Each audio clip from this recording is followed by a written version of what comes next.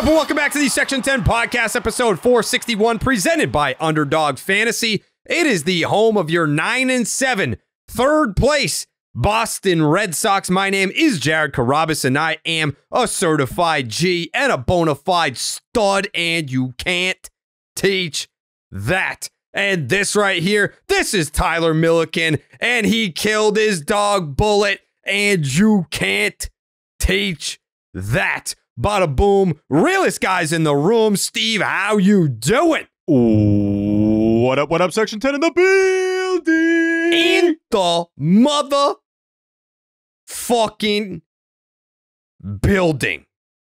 Presented by Blue Moon. Suck one. Suck one. This is for Steve.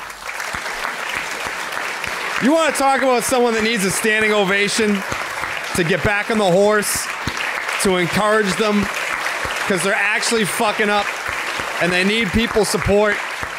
No, keep it going. Keep it going for Steve. Keep it going for Steve. Yeah. You want to talk about a standing ovation? Steve Oh, he's getting emotional. Steve Peralt. Man, He needs it. thank you guys. Hey, Thank you. That's a show of support for Steve. Uh, you know, he's been fucking up the weather left and right.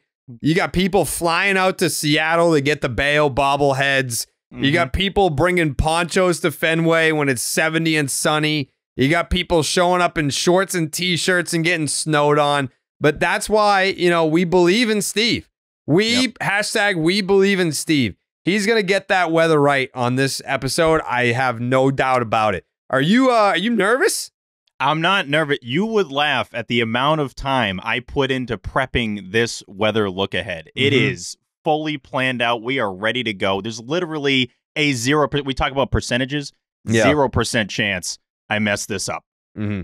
Okay, I mean we're two weeks into April, and Billy's gummy bears have already had to put out two statements. I do. So- I gotta say, I do appreciate how uh, nice Billy's gummy bears and understanding that they've been because they have every reason not just to be upset, but to potentially pull the sponsor, and they haven't done that.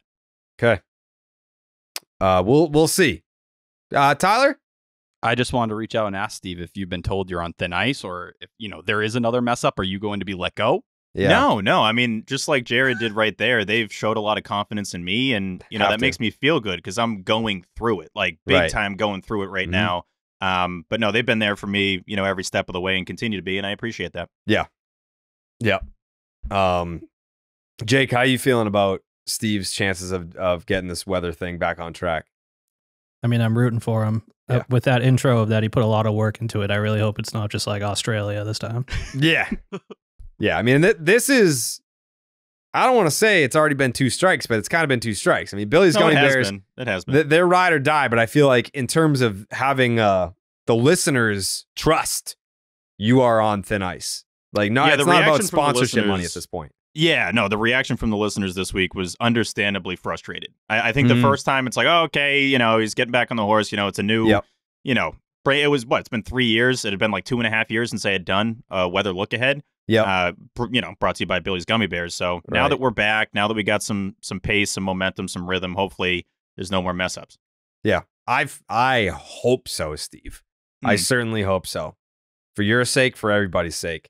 Yeah. I, I I I'm rooting for you here. Um all right. Well, I went to Fenway on Friday night. Left a pass for Steve. He said, "Nope. Don't want to go." Where'd you go? Uh, went to Civil War, the movie. It was good. It was Oh really yeah, good. yeah, yeah. Maga Steve. How was it? It was really good, honestly. Really good. Who's in that? Mark Wahlberg? Forty. Uh, no, it's uh Kirsten Dunst. Uh, who else is in it? Is Uh, that a couple- that's fucking uh That's Spider that's Mary girl. Jane. Yep. That's Mary Spidey's Jane. girl. Tyler. What's this movie about? Uh, it's Civil about War. if a civil war happened. yeah. Yeah. Okay. Yeah. I didn't know if it was like the superhero. Isn't that what they call Captain America now or something like that? What? Yeah, I think I think there is a Civil War one uh, that's Marvel. Um, but no, yeah, this is just if a Civil War happened, and I'm not going to give anything away. It's great. It's worth seeing. You liked it. I really liked it. Yeah, 91 out of 100 Rotten Tomatoes. 91 out of 100? yeah, it's one of the best movies I've seen in a while. And Kirsten Dunst is the lead. yeah, she, there's like three leads basically. She's I would say she's number one, but yeah, else there's a in couple it? others. Who else? I, I didn't recognize. It's one of those. A couple of the other people were like, "Oh It's yeah, like, I, oh, know who that, guy is. from that thing. Yeah. It's the guy from that thing. yeah, Uh, yeah, I just yeah, typed in Civil War as if that was going to bring me like the cast. It's like no, it just brings up war. Jesse Um, Plemons. Who? Yeah, Jesse Plemons is in it briefly, Oh, and he's Dog. incredible. Yeah. Plum Dog he- Millionaire. he was really good. Nick Offerman is the president of the United States in yep. this movie. He's uh, Jose's brother. hmm hmm People Did you forget know- that actually. Yeah, I mean, obviously, Steve's kn- Steve knows this. Uh, but Bray Wyatt was was uh engaged to. I don't know if they got married. Uh, his JoJo is Jose Offerman's daughter. Did you know that? what? What? Bray Wyatt. Yeah, know, I know the- Bray the- Wyatt. yeah, the Fiend. Yes. One of my favorite wrestlers. I have a tattoo Yeah. for Bray Wyatt. One of his quotes. Uh, his fiance slash I'm not sure if they got married is Jose Offerman's daughter. Interesting. Yeah, Interesting. R.I.P. By the way. R.I.P. R.I.P.. I wanted to pay my respects. Yeah. yeah, one of the best to ever do it. Yep. Um, yeah, and and then uh, Jade Cargill, who was on the WrestleMania card, hmm her husband Steve is. Her husband. yeah, they're That's married. correct. That's Yep. correct. F- uh, former Red Sox World Series champion. Got it. He's got multiple rings. Then Tyler. Koji Uehara. Brandon Phillips. There you go. It was Yeah. between Phillips and Uehara. Very similar Yeah. looking guys. Yep. Mm-hmm. Yep. Yep. A lot of Yep. wrestling Red Sox connections there. Of course. Um, you know, it's what we do here. It's what we do here at the 10. Hmm. You never know what kind of wrestling and uh Red Sox crossover you're gonna get, but here here we are. Um was there was there uh like a Red Sox story that we I feel like there was. Was there a Red Sox story that we wanted to touch on before we got into this Angel series? Are you Not- referring to the John Henry, Tom Warner situation, not going to Larry Lucchino's funeral?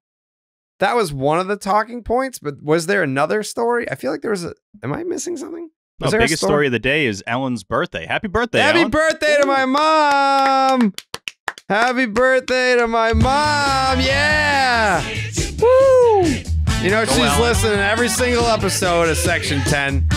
All 461 episodes. She's listened from the beginning to the end. Happy birthday, Ellyn. Best mom to ever do it. Uh, 43 years in a row. Mm. 43 years in a row. She didn't even have a kid 43 years ago. Started early. But she's she's been doing it nonstop. Best Mom of the Year award. Wow. Wow. Congratulations to Ellyn. Um that's is that this I, I don't know that that's a story I'm thinking of. what are you Triston thinking of? Casas in the red seat? We'll No, get that's there. not really a story. I mean, it, I mean, people were pissed, but like who cares? Fuck those people. The olds. Mm-hmm. Red That's Sox literally what I have in my notes. I don't think there was another thing. I mean, what did we think about the Henry Warner thing? It's the least surprising thing ever, right? Were, were we surprised at that? That I they didn't show up? listen here let me tell you a little story about johnny pesky and his uh services uh vicente padilla showed up. Like it was uh, there was four red sox that went. And i don't know like let's see johnny pesky funeral I red got 'em. sox players. David one of them was Ortiz, buckled? David ortiz. Yep shout out david. Salty, salty great guy. And Clay. and Clay, and then Vicente Padilla. yeah, yeah, yeah. Core So, four. When that happened, uh, I, I feel like when was that? That was in August? No way.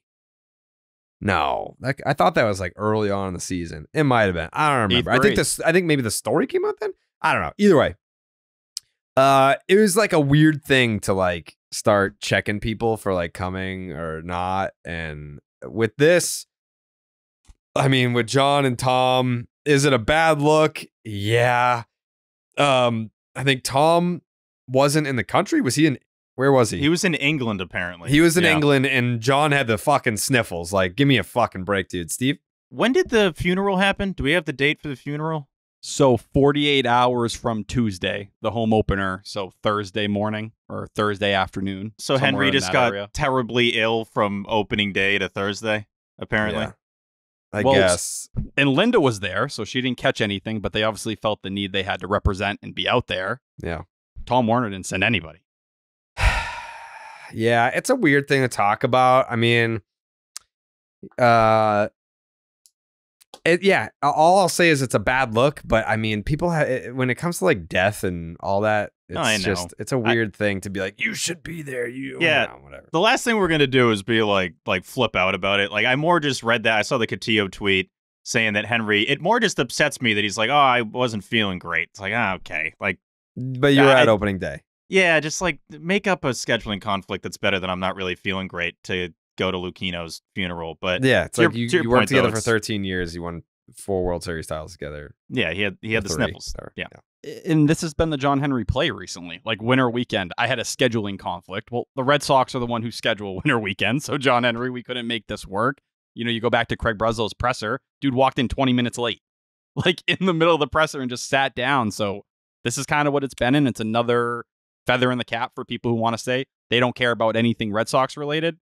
Is that the roots of what actually happened? Who knows? These guys have been co-workers. They did these things for all these years. We have no clue what the actual relationships are, but yeah, you think you'd hopefully show up for someone that completely changed your life and career in a lot of ways. It was surprising to even see Henry at opening day. Like that's we're at the point now where the owner of the Red Sox showing up to the first home game of the year is like, wow, okay, that's that's Yeah. crazy. Hey. Didn't expect to see you here. Like, come on, man, just show up to more stuff. The fact that he's ducking all of this is is wild. I feel like Cotillo now because that's his big thing is hating John Henry. But um, yeah, he's he's ducking too many things. But of course, then you go back to the fact that he can afford to duck this stuff. He's the top of the food chain.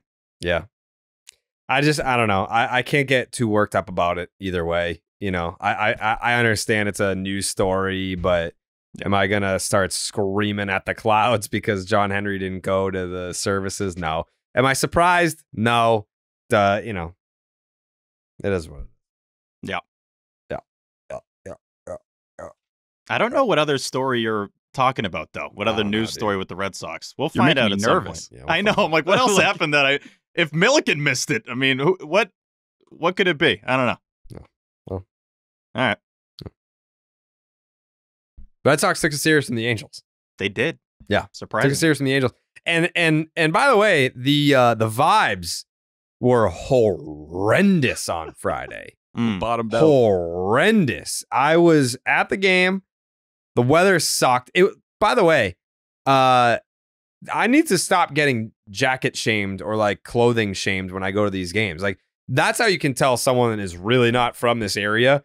Like when when Steve took the video of me on the field before opening day and I was wearing a jacket and someone's like, sick jacket, dude. It's 70 degrees out. It's like, all right, in 20 minutes, it's gonna be fucking 49. Shut the fuck up. It wasn't even that hot for opening. It was like lightly warm.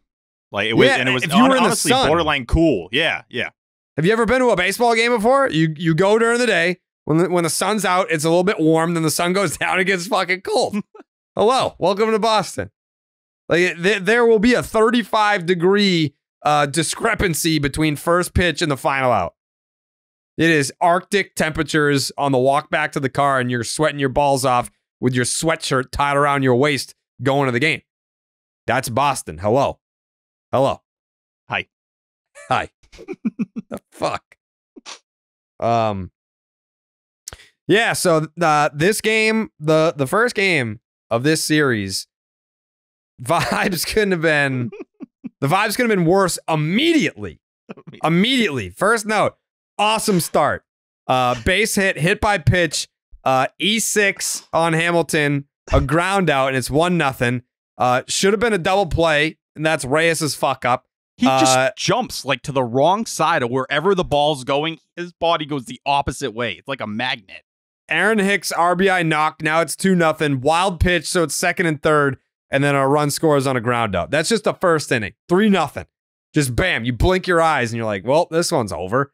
Maybe the series, maybe the season. Like- Like, here's here's what I don't want to have happen, and it is kind of weird because when you heard Triston Casas talk about this in the, I I think it was after the middle game yesterday. Um, someone said, "Wow, you know, how do you feel now that the four game losing streak's over?" And he was like, four? It felt like 40. Yeah. Like they're already mentally worn out. like this team, they have a winning record. They have a winning record. Like I'm not saying like I don't have playoff aspirations this year. I'm just being honest. If you do, God bless your heart. They're nine and seven. They have a winning record. They're tied right now with Tampa. Uh, they're a half game back of the Orioles, which a lot of people loved to uh, win this division this year. They have a plus 12 run differential, which is very respectable at this point in the season. Um, like things are fine, but when you look at this middle game, and we'll get to it, obviously, I don't want to jump ahead. But when you start seeing some of the errors, the mental mistakes, the bad defense, the bad base running in today's game, getting picked off twice, twice, like that's when you start looking at it as, hey guys, we're not good enough to play with our butt cheeks clenched like this. Like Yeah. we if we're going to win baseball games, we have to play loose, we have to play free, we have to have fun out there. No one's having fun. No one is taking the pressure off right now. I get the the dance circle thing before the game. I'm talking about once the game starts, where like have you seen anyone smile yet this year? Well, they they feel like they're on the verge all the time of committing an error. Like if an error hasn't happened meltdown. in a Red Sox game, it's like who's a it gonna meltdown be? is always But- right around the corner. That's what happens when you are tied for the MLB lead in errors. We laughed at the A's how much, and you have the same amount of errors as them. We watched three games and said, "How could anyone watch this product and you know survive and not want to die?" Well, now we've watched it, and the craziest part is we watched the Red Sox be one of the best fielding teams in all of baseball the first week of the season.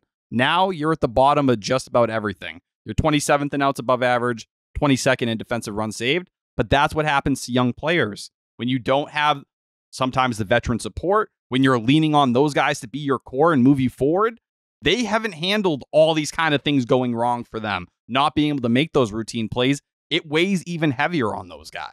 Yeah. I actually like that Casas said it felt like we've lost 40 in a row. I like the honest. players having the feel of the fans of like, yeah, I'm right there with you. We're making errors that we have no business making every single night. And Jared, you talked about it at the start of game one.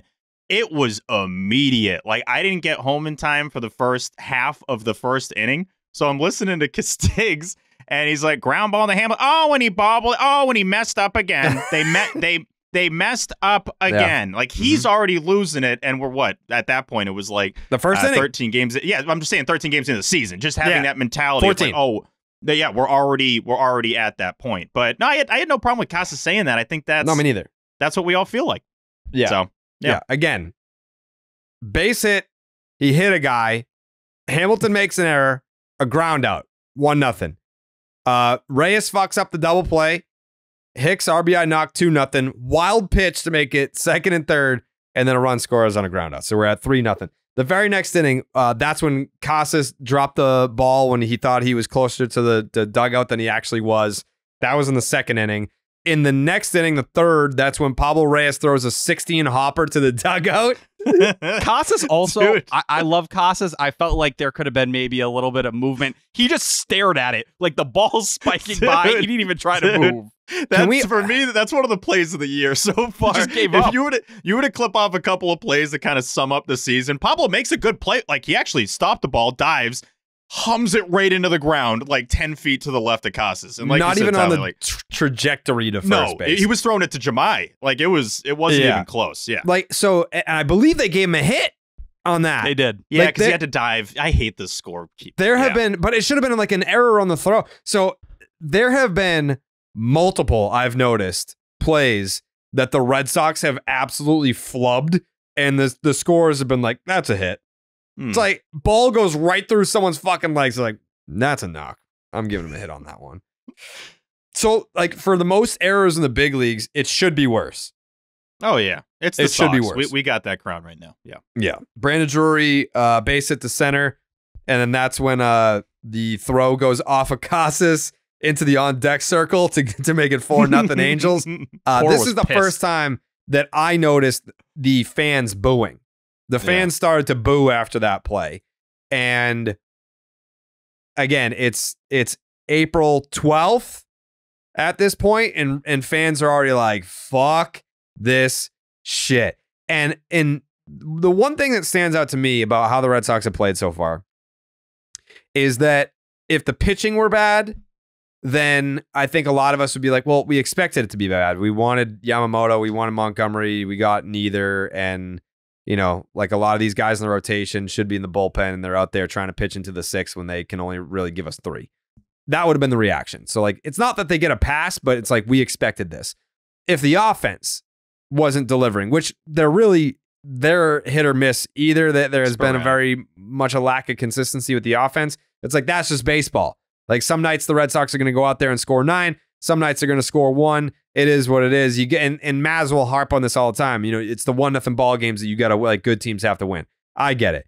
Uh, I think where it starts to get to the frustration, we're going to boo you guys two weeks into the season, is where they have sucked. They haven't sucked pitching. They've been okay offensively, whatever. It's defense. Like there's just no excuse for how bad it's been. The mental mistakes, getting picked off twice today, uh, in a win. Like I, you know, it's it's not that you get it. You don't get a pass just because you won the ball game. Like it's it, because it's all encompassing of why it's so frustrating to watch this team. It's fucking day one stuff. Field the ball, throw the ball, even in the ninth inning today, right? Like David Hamilton is lined up to cut off the ball going to third. He's not covering second. You might have been able to get it out there. We don't think about it because Kenley finished the job, but if a run ends up coming in or whatever it may be, that's one of the main things you're talking about with fundamentals.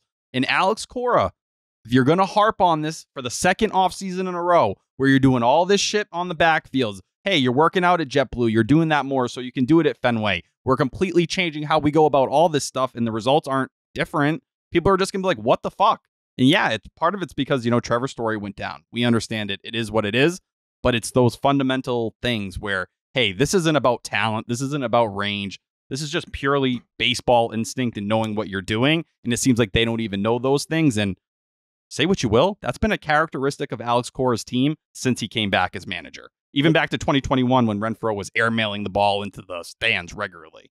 One yeah. thing I'll give Sox fans credit for, and and we do this going to the park too, is you kind of wear the previous games on you entering the park. Like I think heading into Friday, it's like, all right, coming off of being swept, they probably should have won two out of three. I still can't believe David Hamilton can't touch second base, and all the fans are thinking that going to Fenway. So immediately, when you can't turn a double play, when you're a ricochet of the relay off of Casas that went like a, a hundred yards past him. I don't know if I've ever seen a relay ricochet that far off of somebody. So you're again each night you're seeing new errors that you didn't think were possible to happen, and they stack up on top of each other so fast that the booing should have happened earlier. Like it probably should have happened immediately on the double play. Hamilton's got his head down, and credit to him, he actually made a couple good plays in the finale. Yeah, but um, yeah, I I think that's that's what happens when you know you come to the park off a sweep, and you're like, all right, better be better, it better be good now to start this game, you better be good.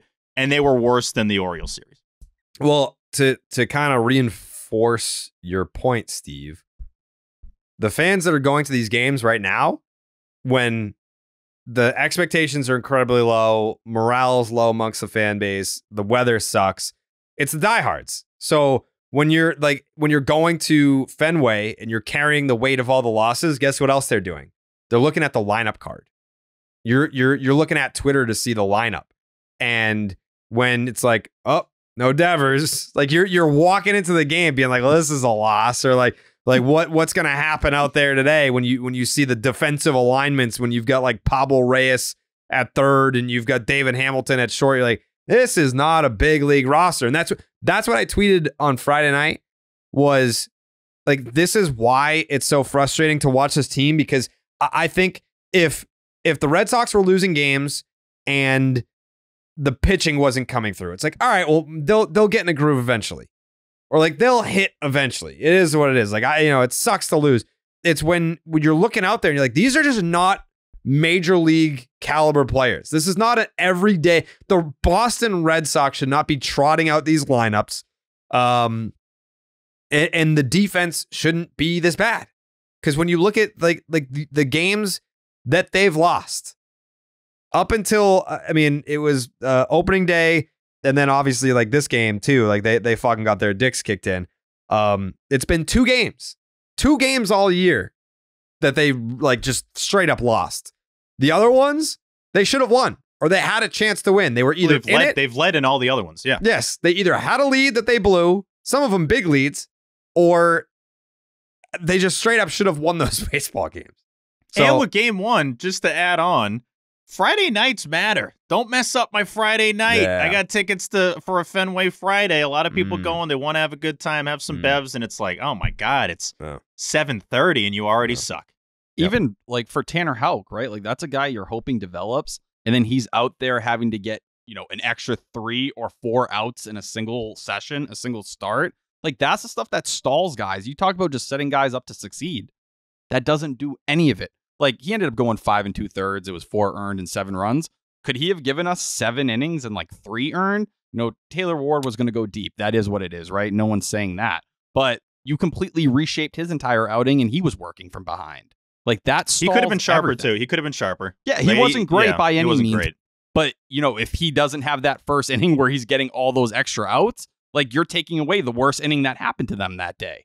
It might be, you know, just a very solid overall start where, hey, he battled despite not having a bunch of swing and miss stuff. That's the stuff I want to see from Tanner Houck. Where, hey, you're not as sharp as you were those first two games. Show me you can still go six innings. The Sox obviously end up winning the series, but I had uh, wrote a note down here. Like, who in the clubhouse right now is the guy that's like, we got to clean this shit up? I don't know who it is. They don't like, who on have the current? one. They don't have one, right? So N- that kind of no. night happens, and I didn't think the rest of the series was going to go the way it went because I'm like, who's the guy that's like, this is unacceptable? I don't think there's anyone on the roster that would fit that bill. They don't have that guy. Like, think about it. Think out loud who that person is. Go around the diamond. Devers has never been that guy, and he told you he doesn't want to be that guy. Um, Casas, I think, is kind of trying to evolve into a leadership role, but I don't think he's the guy that's going to go like, around. he might like, be a can't-" pat on the butt guy. He's like a you'll get him next time. I think. I don't know if he's but yelling he's also a part of it. Yeah. You know, uh, how is he going to be like? yeah, he's yeah. we gotta clean this shit up. And they're like, yeah, dude, you fucking dropped a fly ball and then booted a ball into the dugout. Yeah, clean it up. Like, like True. you but know? he's the best hitter on the team. And I I, love Casas. the reality. He is I- dropping pop ups. We got it. I love Casas, gotta be a but little he's more been a big part of it.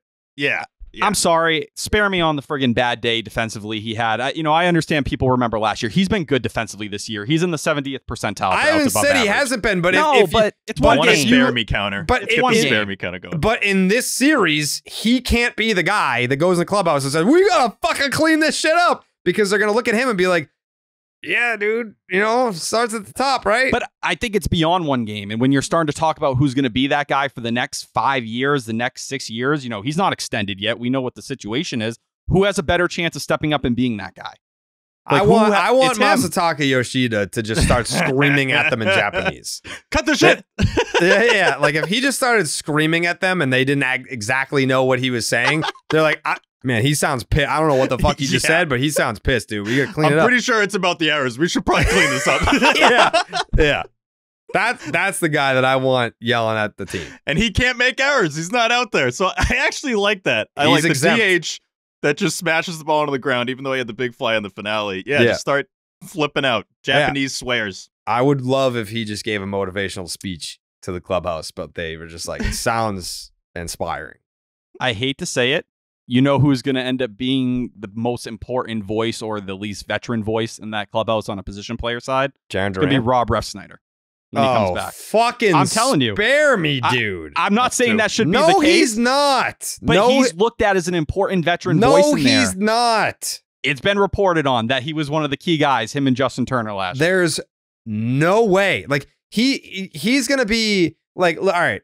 Duran far as showed him it- a ton of love for as putting far his as arm around Rob him. Refsnyder goes, he's probably the guy where it's like I've been there and done that in the big leagues, so I can like talk you through experiences.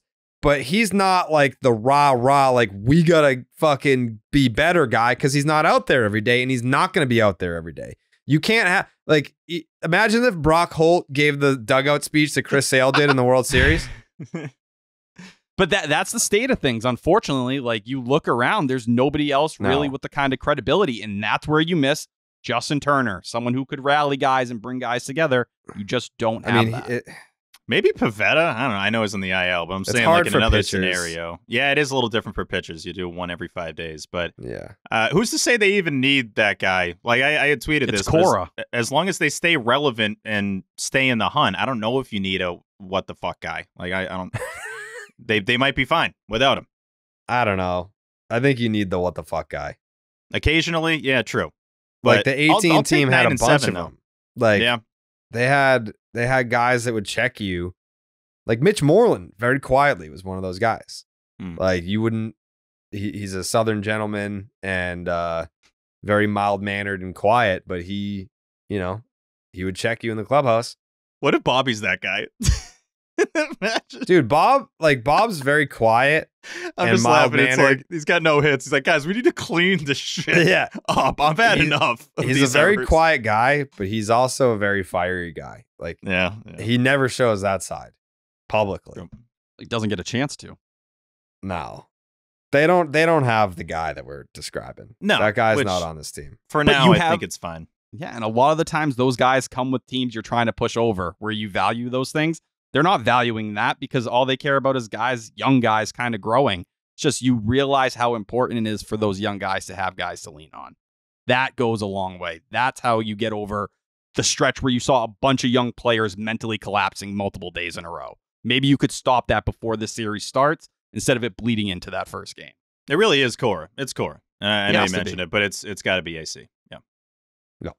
Yep, yep. Um I don't know how much else on this game we really need to hit on. Tanner Houck, five and two thirds, 98 pitches, 12 hits. 12 hits, seven runs, four of them earned. Didn't walk anybody, only two strikeouts, and gave up the bomb to uh, Taylor Ward, who was a menace in this series. That made it 7 nothing. Um, T Dog, what did you see from the the data on Tanner Houck? Because this was, uh, I mean, obviously he, he had he had been the Red Sox best starter to this point, but the 12 hits is fucking brutal. Like I get it, there were three unearned runs in there, but 12 hits is not what you want to see. Yeah, those innings got extended, and that's where he ran into trouble. But it was the slider, you know, 52% of the time, and the sinker 32% of the time. Still haven't seen the four seamer at all. I put it in the same Brayan Bello category where we might just never see it again because they don't like the pitch. Uh, besides Houck, Brennan Bernardino, I think continues to show you why he should have been on this team from the start of the year. Inning in a third, no hits, two Ks. He's using that new cutter he worked on this spring. It's playing up against righties. So what's going to happen when that spot in the bullpen, you know, needs to go somewhere else as guys get healthy again? Who knows? But I think he's proven himself to stick around. Um. Okay. Also, Detmers shoved it up our ass again, like I said he would. Mm. He likes doing that. Loves it. Six and a third, 98 pitches, three hits, no runs, two walks, seven strikeouts. Uh, the last note here was uh, the defense is impossibly bad. Uh, Angels seven, Red Sox nada, and it was the fourth straight loss to drop us down to a 500 ball club. How would they respond? How would they respond? T Dog, With a win, seven to two. Can- what? Is that we got to get there first. Yeah, you gotta maybe lead it a little Jesus teaser. Christ. Oh, I thought you were like setting up the pitch, like we were No. a ball together, and you were kind of guiding my arms. No. a Teaser little there, arc. We're Tyler. about to get into the next game. Next game coming now. Doesn't feel like it. I teed you up. Doesn't. Nah, I was about to tee you up. Tee me up. It's a warning. It's a warning. Uh Masataka Yoshida, he did something. Weak a weak RBI base hit to make it one nothing. Uh Triston Casas shit on a changeup, two run home run, makes it three nothing. This is all in the first inning here, folks. Uh Rafaela, an infield single for an RBI to make it four nothing in the first. Um, that Casas home run opened up a dialogue. Mm. And there is a corner of the internet, whether they are old, whether they are confused about their sexuality, that don't like Triston Casas, It's and they will that what they'll come at him for any reason. They don't like him because of like the nail polish thing. It's like, dude hit a bomb, and I've said it a million times. David Ortiz has said it a million times. Mo Vaughn used to say it. The the red seat just simply did not happen. David Ortiz says it. Are these people freaking out? No. But Triston Casas says it, and now it's a big deal. Uh, I think that it's a myth. I don't think that it happened. The long, the longest home run that way that I've ever seen at Fenway Park was in 2012. It was Josh Hamilton off of uh, Mark Melancon, and it was like halfway to the red seat. Halfway. Seeing that swing though, and that that homer, it reminded you of like, okay, this is what it would look like. Like if someone were to attack the red seat, it would have that trajectory and look like that off the bat and sound like that off the bat. The fact that it was 72 feet short of the Ted Williams seat is like, come on, man. All right. Part of it, I think, is the NESN camera. The NESN camera zoomed Oh. so far out. I have never seen them zoom that far This- out before. Camera guy is out of his mind, or gal, I don't know.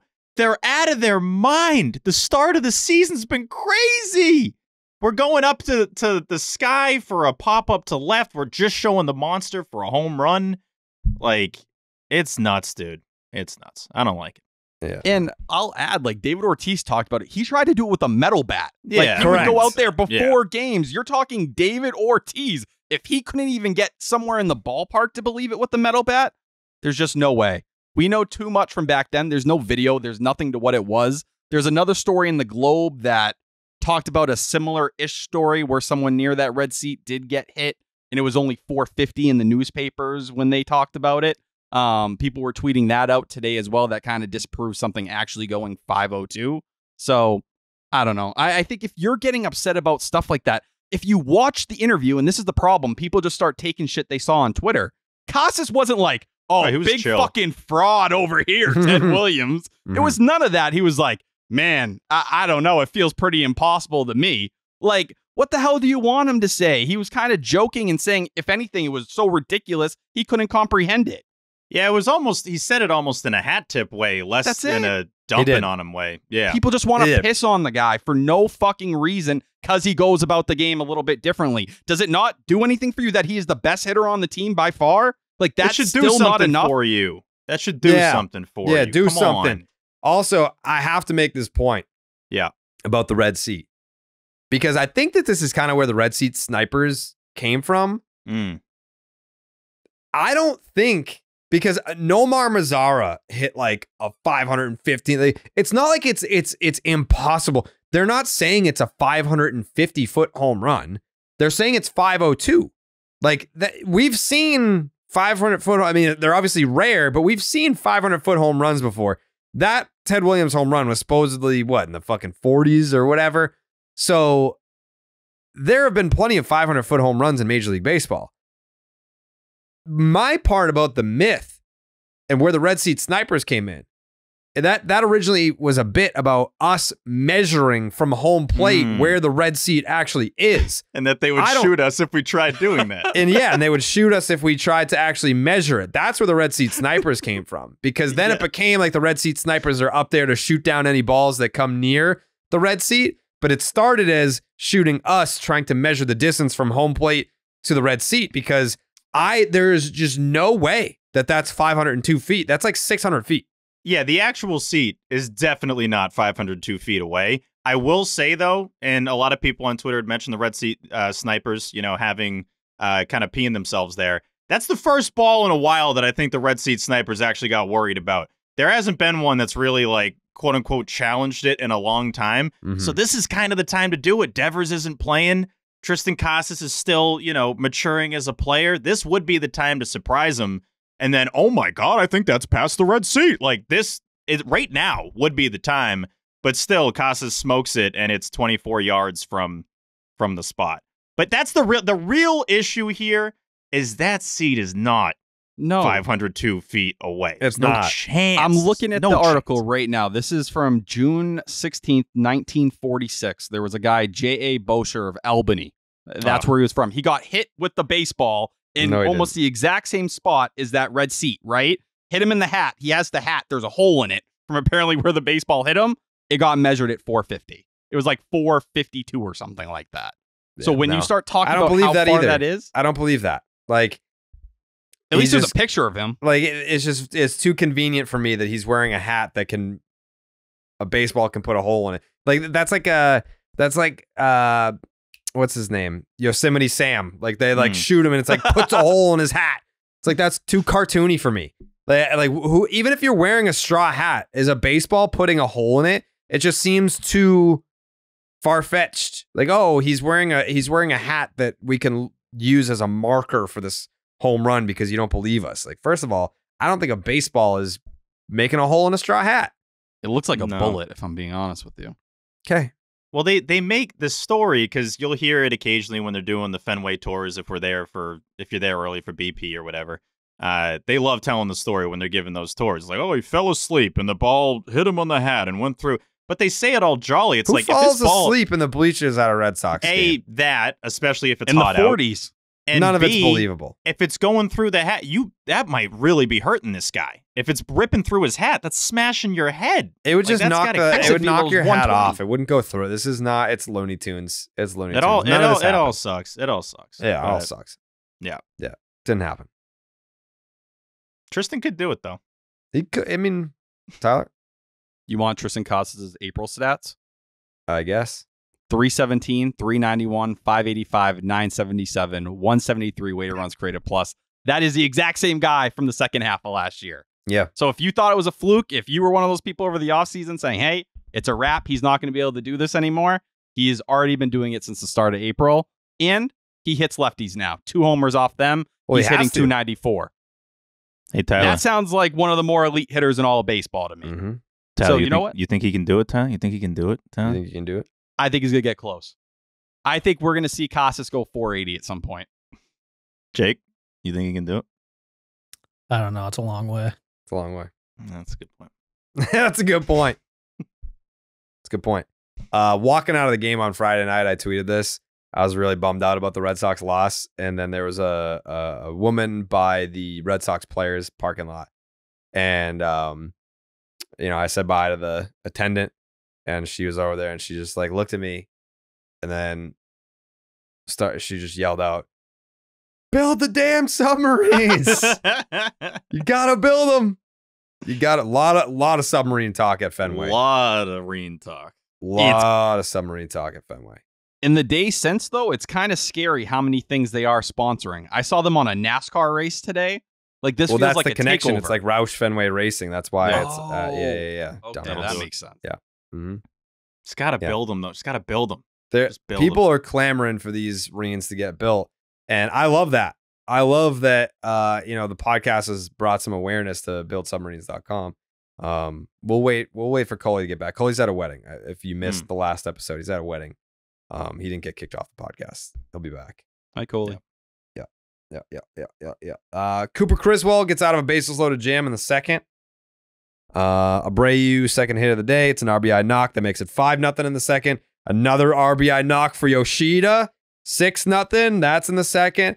Uh, Taylor Ward hits the ball to the moon, two run home run, makes it six two. That's in the third. Valdez picked off and then he hurts himself, Oh. That was bad. but he's Also, fine, no. right? It was just a contusion. Yeah, he's- he tried to come back in the game. Like he took off without anyone saying anything to him. And Yeah, Cora so he was, just like, ran in screaming. I only saw him coming out because I'm like, there's no way they put him back in. So he just went in on his own, right? I think Yeah, but I AC kinda respect that. No, I do Like, too. I do Didn't want to bend the knee. Um, Yeah. I will say, Wilyer Abreu, that looks like the Wilyer from last September we saw in the first two games of Yeah, this he's series. cooking. Um, is. or the last two games. So like that's kind of where I'm at. He should be in the lineup almost every day, and they may just be waiting for Refsnyder to come back. But I think they're going to end up bending the knee on Rafaela. I think they're going to end up pushing him to shortstop. It feels like it's inevitable. It really saying it. He keeps Yeah. saying, "I need Wilyer in the lineup as much as I possibly can against righties." Well, that's the only way you're going to be able to do that and have Tyler O'Neill out there. hmm The Valdez play. First off, what is he doing? Every time you look up during this series, someone was getting picked off. Like they were trying to set a record for getting picked off. He then he might have even had the bag. Like there was a chance he could have stolen it. He falls over in Sano's like momentum. Sano also put a little too much into that tag. That like he killed him. Like he all that not just the weight, Well, he but he fell. also like he, but he also like punched him with the glove. I felt bad for Valdez. I'm like, you just got you didn't just get the weight, you also got like a, a knockout blow there. Um, yeah, that was just a that play.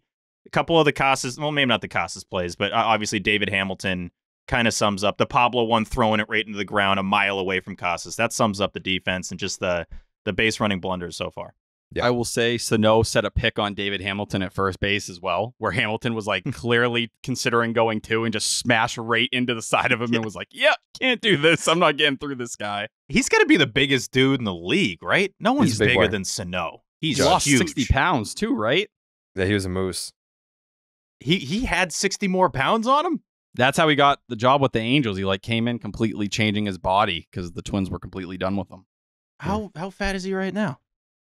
What is I don't he? even think he's fat. I think he's well, not fat, but well, sorry, big. 271. 271. That's yeah, not fat. That's a Tyler Milliken right there. Exactly. He's a Milliken size. So how tall is he? 5'10? He's he's built. So no? Yeah, 5'10. 5'10? 5'10, yeah. Five, don't look it up. 5'10. 5'10. He's got to be what, like It's like six Coley's five? height. Oh my God, we have the same birthday. This is terrifying. Is Milliken Sano? You are Miguel Sano. Uh, yes. Yeah. I'm sorry. no, he's six four. yeah, 6'4". five ten. Crazy. Uh, double play to end it was kind of funny. Just the fact That's that they the turned one. difference. Yeah. That was funny. Yeah, yeah, yeah. Cooper Criswell, uh, four innings, 83 pitches, five hits, two earned, one walk, four strikeouts, gave up a home run. Uh, he was fine. You know, I, I think that was someone that they knew was going to factor in at some point this season. Took about two and a half weeks for him to factor in. Um, I think he they probably could have gotten more length out of him. With 83 pitches, you would expect more than four innings, but uh, I'm not going to complain. It was good enough. Red Sox win seven to two in the middle game, seven to two to improve to eight and seven on the year, and that brings us to the series finale today. Nice little Sunday day game. One of those games where it's like, hmm, might be a little chilly in the shade, but if I go out in the bleachers, it's gonna be nice and toasty. Mm, Mm. yeah, Sneaky ooh, big game. Yeah, sneaky big. Must win. I would. I'm gonna label this game a must win. Okay, so we'll They see what happens. We don't know yet, but we're We don't about know. to get there. Big time tease Mm. for this Game three series coming here. Yep.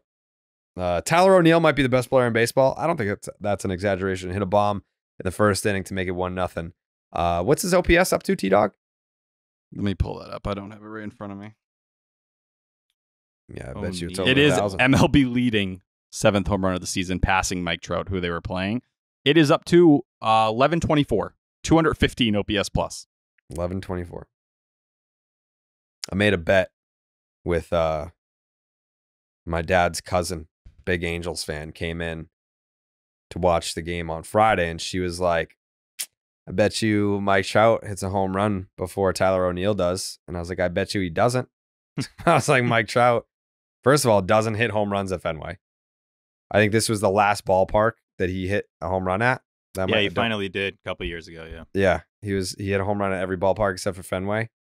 And yeah, for whatever reason, whenever he comes here, very underwhelming. I was like, Tyler O'Neill, all he does is hit home runs, so I'll definitely take that bet. Tyler O'Neill home run before Mike Trout. I think his OPS is even better. I think it's uh 1209 for O'Neill. Yeah, yeah. Yeah, he's one of the best to ever do it. Like you Uh, said, yeah, you're like, yeah, I knew, yeah, of course. Yeah. Yeah. Yeah. Yeah. Uh, next line. Triston Casas caved to the olds by hitting a short home run. I feel Mm. like I feel like he heard the olds being like, "Oh, you're not you're no Teddy ball game out there, Triston. You ain't no Teddy ball game. You can't hit no red seat out there, dude, Triston." So he was like, "All right, I want to hit a home sound like? run." What- what They're like, oh, now, now, Triston, I know you ain't seen no Teddy ball game, no hit that there, there red seat there. And he did hit a home run, but it was not threatening to the red no, it seat. sucked. It was a stupid home It run. sucked. Is what it was. I yeah, it hated it. sucked. Gentle. Yeah. It was back to back, though, which is cool. Yep.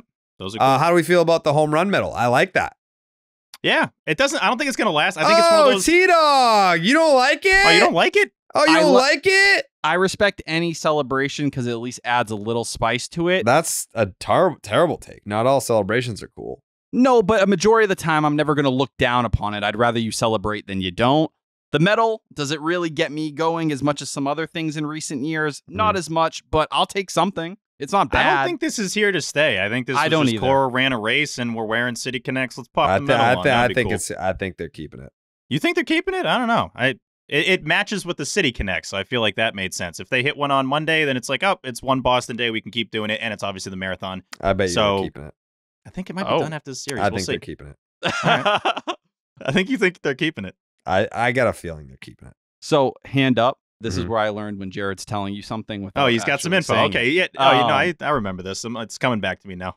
He's When Jared does the smirky doos, he's got It's some all info. coming back to me now. coming back, coming Mhm. back to me. now. I like Uh, the dance moves at the end. I like the little, you know, everyone has their own thing. Tyler O'Neill's was horrendous today. I don't know. He was like jerking basically, but give me Uh, the A lot of gifts of you doing that as well, jerking. floating around. Yep. Well, what does that mean? Beating my Uh, dick? It's yeah, like of you during the Clark's ketchup theme. It's like oh, you're you're reaching it? You were That's like strumming, the but guitar. Ex- yeah, but it looks like you're jerking That off. kind of yeah. that doesn't look like yeah. a guitar, dude. Jake, yeah, yeah. Jake, cut that out, please. Don't Yeah. leave that. Don't leave that in there. yeah. That looks anything but a guitar. It'd be very funny if Jake just blurred it and it looks even worse. Blurs everyone else's camera except mine. yeah. You would not believe what this guy did mid show. It's like Wow. we're just talking ball and he's just Talking ball. going at it. It's because it's because of this next line is why he did it. Mm. And I this is the only line that has a star next to it. Make sure you hit on this one. Bob's on base percentage trending up. Bobby Dalbec. Bobby Dalbec. That's right. Tyler? I'm gonna call you guys out right now. For what? This is you kind of embarrassing him. This is unfair to Bobby Dalbec. You are making a joke of him get Not going to listen to that. Um, I'm surprised he thought that was gonna work. That, that Yeah. wasn't yeah. yeah, we're not.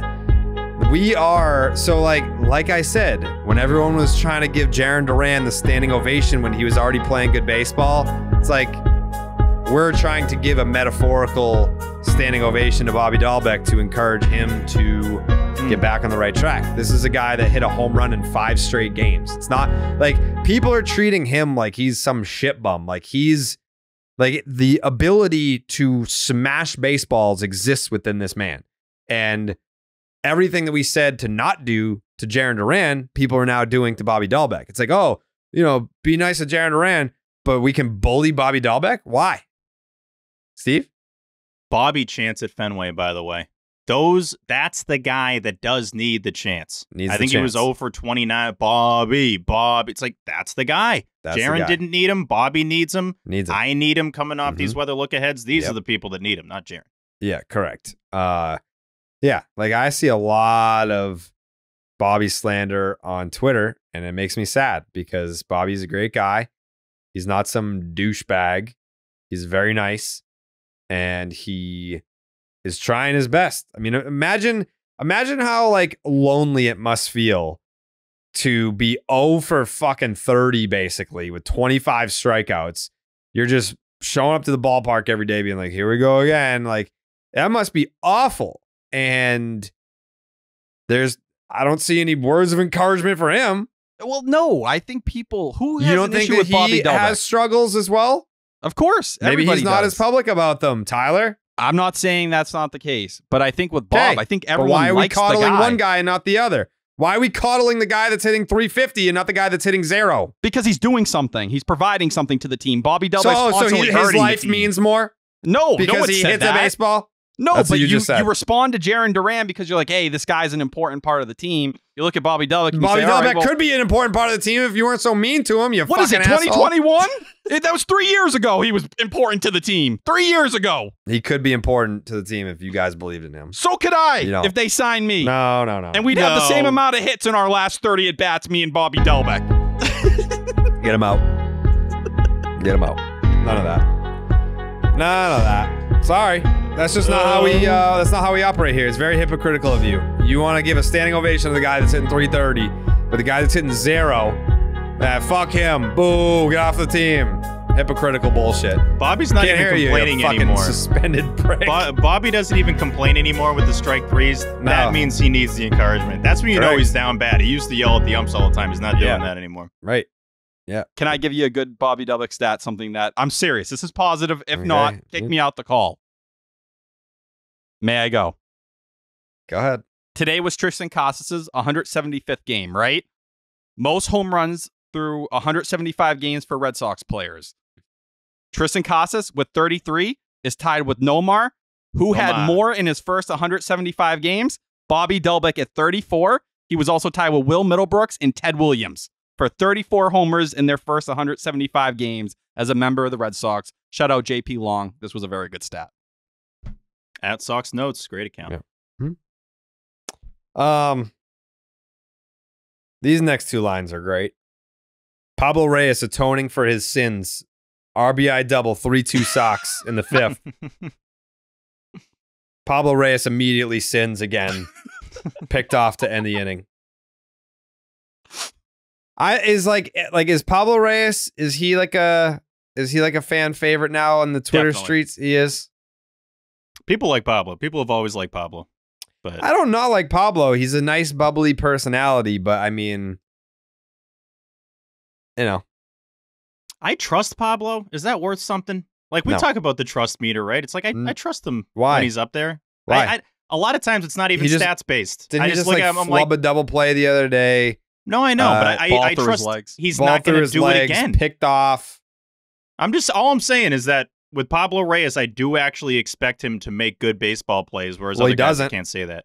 I, that doesn't mean the future's going to be like that. Just like Bob too. Hey, we hope the future's good. Oh, I, I think it's going to be good with Pablo. I think with Pablo, no disrespect to Bobby Dalbec, but last year Pablo was kind of a savior at times for you. He was was. a stability yeah, when you needed without something him, up they the would middle. have finished what? Yeah, sixth, I think. Yeah, they was a savior for the last place Boston Red Sox. No, but he kept you in the race when He your did. team needed oh, something Oh, up thank. God, thank God for that. All right, you give him Thank some God for- credit. He's Thank God for player. keeping us. Thank God for keeping us in the race. He was sitting in the minors for the A's, and he came and he was actually a valuable piece to the team. Super you know, he valuable. got hurt, and we were without upset him, when Pablo without him, we may we, we may not have won seventy eight games. You're being Yeah. obtuse right now. You're being obtuse. You no, know I'm just I, I expect more. out of ex- Pablo Reyes. No, What out do of the you- what do you Boston Red Sox. I expect more out of the Boston Red Sox. All right, well that's not Pablo's like fault. imagine like picking like a team MVP for a last place team. I'd rather die.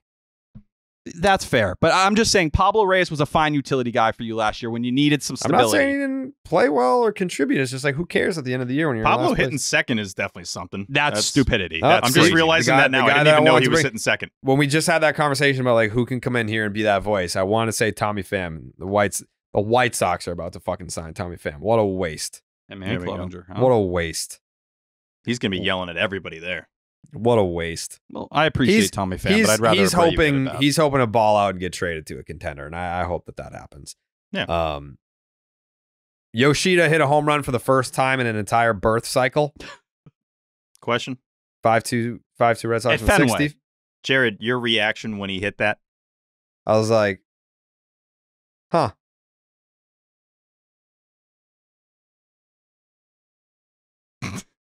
That's what I did.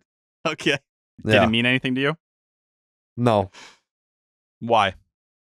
Uh I mean it was like insurance runs. Um and like yeah.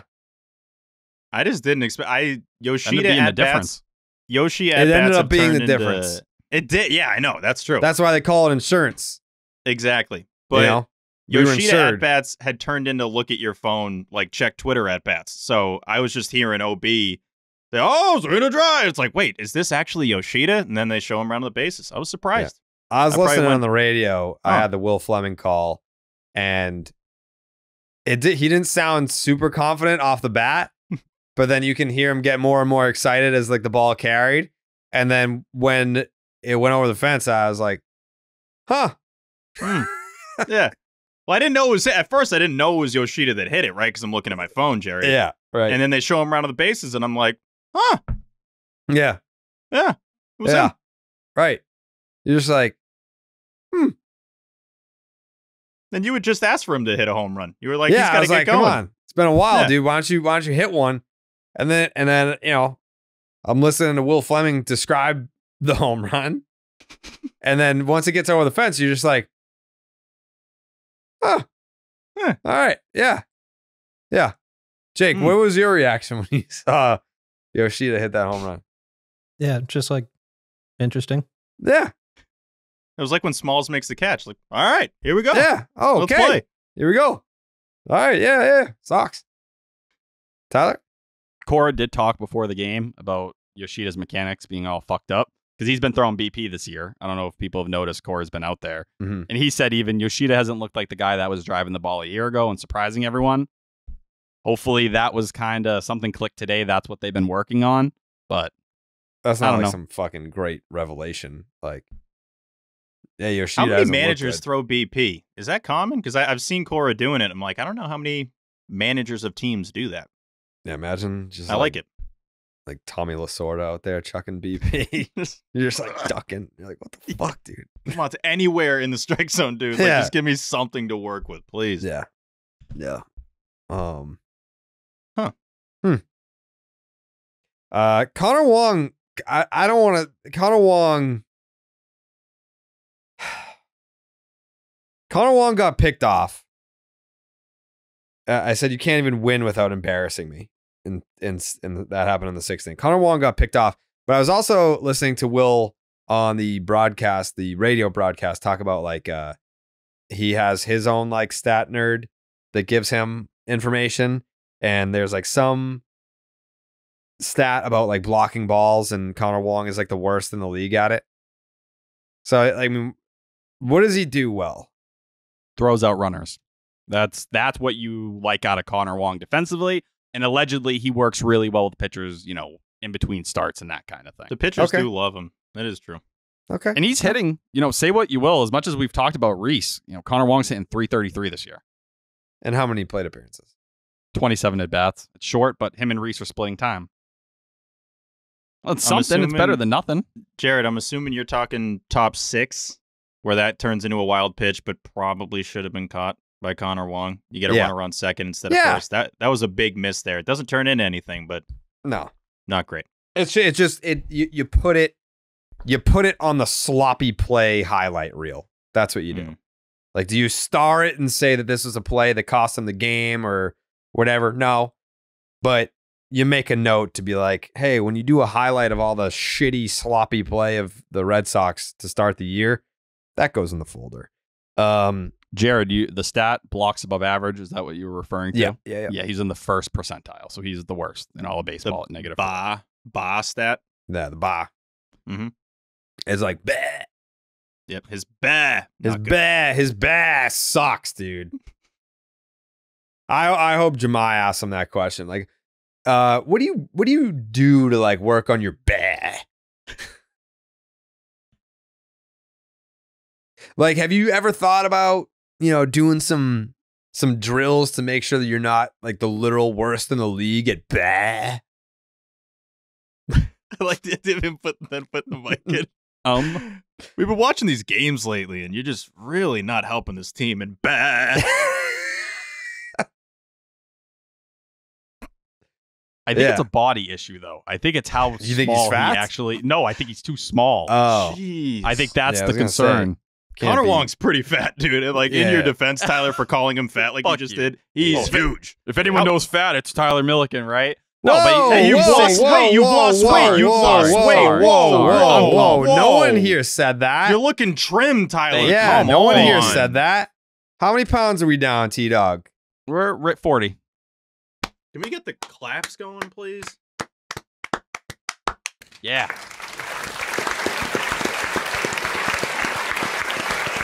Clean 40. He's down to clean 40. Clean 40. it.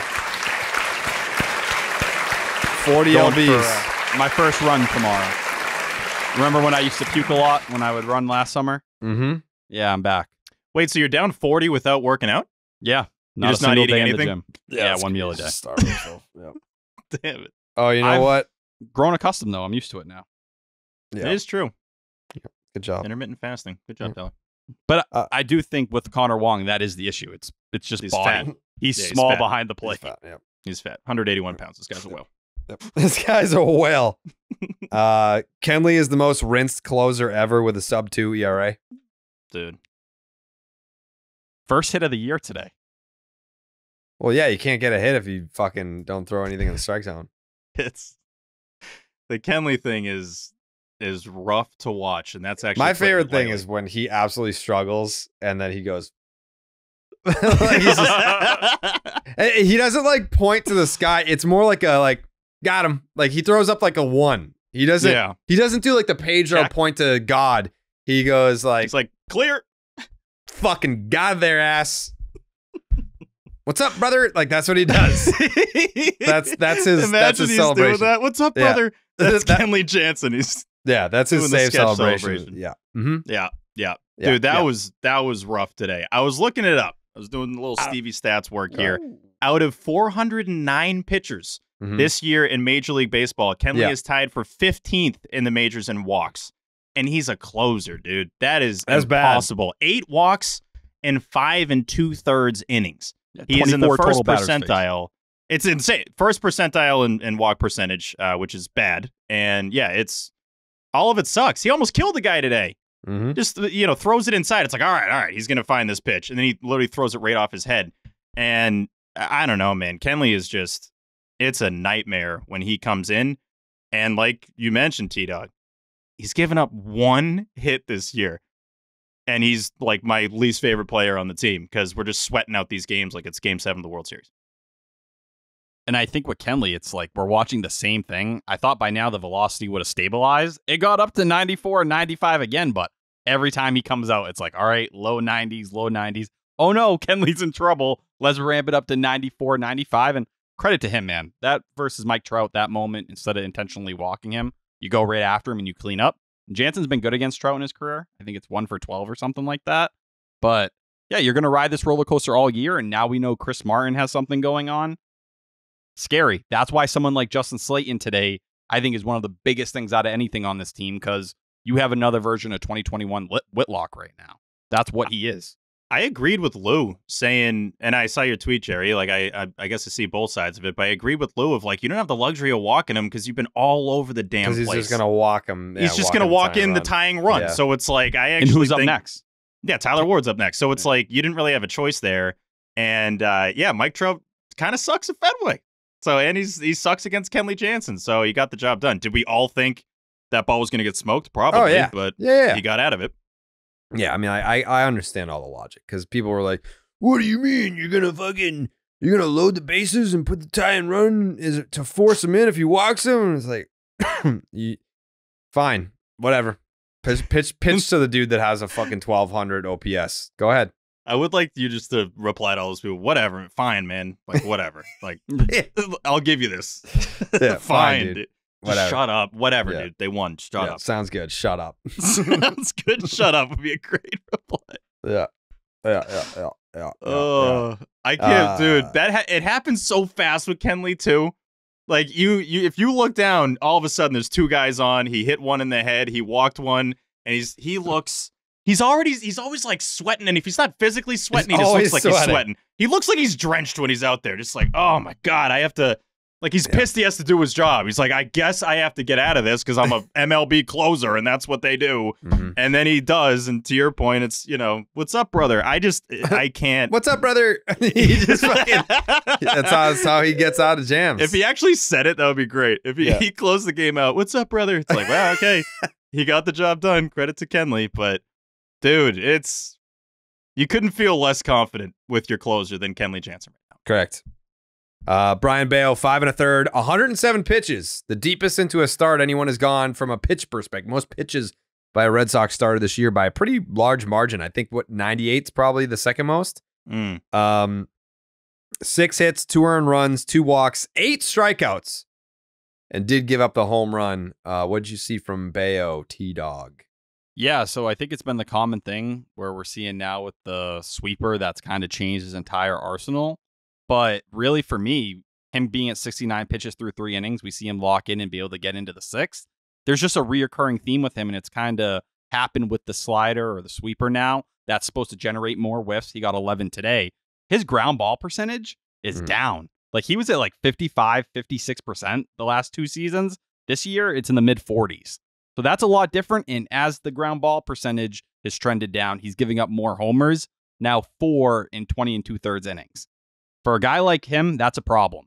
And today it was on the sinker. Uh, he kind of just let it hang in the middle of the plate and it got taken deep. But I think that's something to keep an eye on with Bello as he focuses more on whiffs. Is the trade off become home runs in some ways for him? And if you're not having him put the ball on the ground as much, are you really getting the most out of Brayan Bello? Like, where does that kind of equal up? Is that because you don't trust the defense? I don't know. It's something to kind of weigh because I don't think they've found the right balance between the two yet. I gotta say, Jerry, T Dog, Jake, I love how much Brayan Bello cares. We've talked about it a couple episodes ago. I think he cares the correct amount. I don't think it's too much. David Hamilton made a really good play. Hamilton or uh, Bello rather is well aware of the issues defensively this team has had. He immediately points at him like, "Let's go!" Like great play. I I think it's all directed in the right place. Like yeah, he was pissed last start that Jarren missed the ball, but I don't think he flipped out on the mound and he wanted to get out of the sixth inning. He didn't and he wears it a little bit. I, I like that. I honestly like that. For the guy that you're going to want at the top of your rotation, I think it's going to benefit him moving forward. Yeah, I don't have a problem with Bello's gestures. You know, I, I, I think it's a good thing to get upset if you give up a home run. You never want to show up your teammates, but if you give up a home Yeah. run, it's like that's on you. You know, His emotions just seem like accurate. Like they seem like they match the moment. Like I was thinking the Yeah. same thing when Hamilton made the play. I'm like, all right, like let's go. I didn't think you were gonna make that. So good job. I, I just think it's he does a he does a very accurate job of representing the importance of what his players are doing and the importance of what he brings and showing frustration if he doesn't live up to what he expects of himself.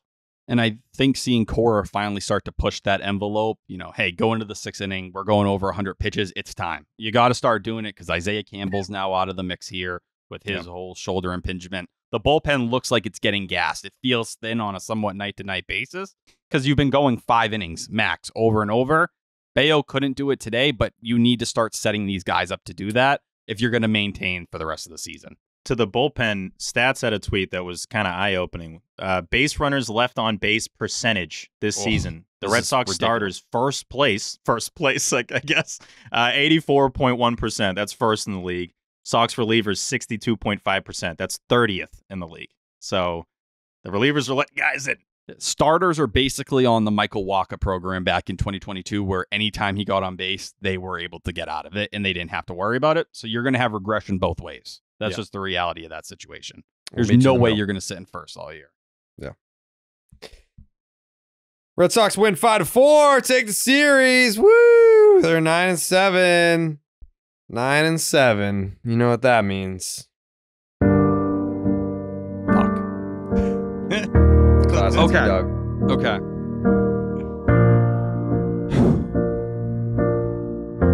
Finally, Sox win.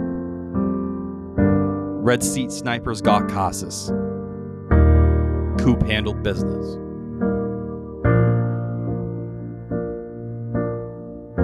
Socks shine with their D.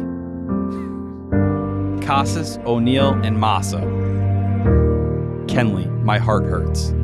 A series of haiku by Tyler Milliken. I just wanted to add something to this, Tyler. Okay. Um, I I, I want you to call them taikus. Whoa. Yeah, yeah. Continue, please. Yeah, so I want I want you to call them taikus. You got suspended because you didn't tell me first. So it wasn't the name, it was No. more just authority. Yeah, well, you had the hard launch. It was like, whoa, whoa. What yeah, we were like, wait, what the fuck? Like we could have had graphics ready. We could have had, you know, we we could have prepared for it. You know, you try you you surprise the audience. You don't surprise us. When you're in the dojo, anything can happen. What? The saying. you never heard someone tell you that before? Like when you're in the dojo, be ready? No. No. I, I thought you were um, making like a Barbie movie reference. What is that place called?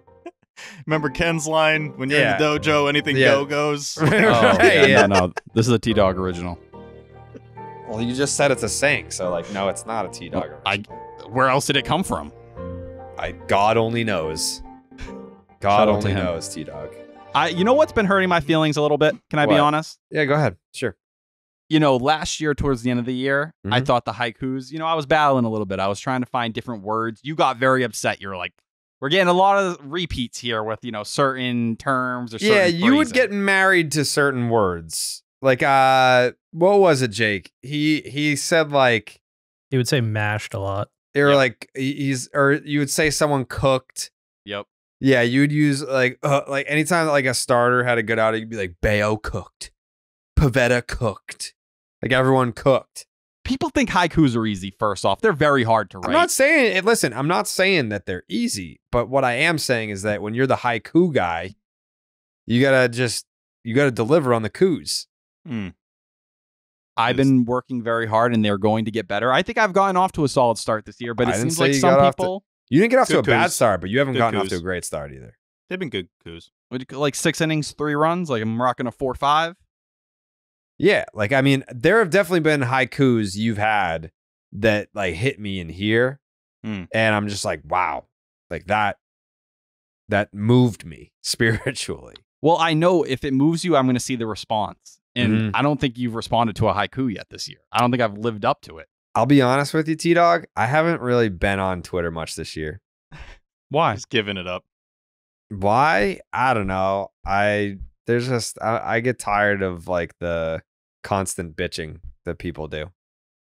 I think I I uh I mean obviously I still tweet during games, but like I've barely been like tweeting highlights this year.